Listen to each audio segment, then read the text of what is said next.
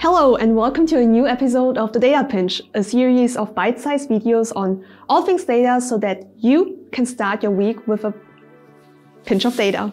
I'm Monica, Growth Marketing Lead here at Y42, and today I'd like us to discuss a data role that is on the rise. Have you heard about analytics engineers? In a previous episode, we defined three different, let's say, data people roles. The data analyst, the data engineer, and the data scientist. Now, let's take it a step further. What is an analytics engineer? What do they do? And how do they fit within the chain of data roles? An analytics engineer is a role that finds itself somewhere between a data analyst and a data engineer. But it isn't quite a data analyst nor a data engineer. They have both a technical focus, hence the engineer part, and a business focus, hence the analytics part. This term has been widely popularized by DBT, though they don't claim coining it, and also shout out to our friends at DBT here, and it, it merged with the evolution of the data analyst role. In the current day and age, the first data hire in a modern data team will usually take care of every touch point of the data workflow.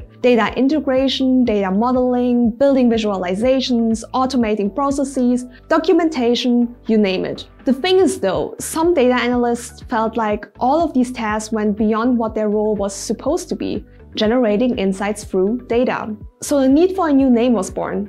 Enter the analytics engineer. What does this mysterious data role look like then? Well, in theory, an analytics engineer focuses on delivering clean data that is ready for analysis, namely taking the data through the transformation process, cleaning it, and filtering it, basically bringing it to its best shape before it reaches the end user. This is done, of course, so that any form of analysis won't be made directly on top of the raw data. But their role doesn't end with data modeling. They are also in charge of testing the data, making sure it's accurate, and applying best practices like version control that derive from software engineering. And last but not least, writing thorough documentation is also part of the mix. The idea is then that the data engineer takes care of things things like building data integrations or orchestrating the data pipeline, while the analysts would focus on building the dashboards and generating valuable business insights. And the transformation and quality control process is done by the analytics engineer. But what about the people that manage all-in-one data analytics tools like Y42